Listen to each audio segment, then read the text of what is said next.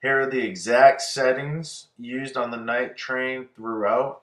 I'll use the bright channel and also the thick channel with these exact settings. I'll also be hitting the night train with a Klon clone from Circuit Rider Effects, set up exactly like this. Volume on the far right, gain on the left, tone in the middle. The guitar I'll be using is a Fender Stratocaster, starting in position number two, and then halfway through the clip, I'll move it to position number four.